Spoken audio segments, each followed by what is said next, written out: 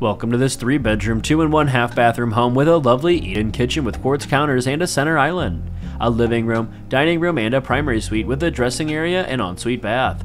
The lower level has two bedrooms and a bathroom and walkout access to the large backyard. Make your dream home a reality by calling Halley Natkin.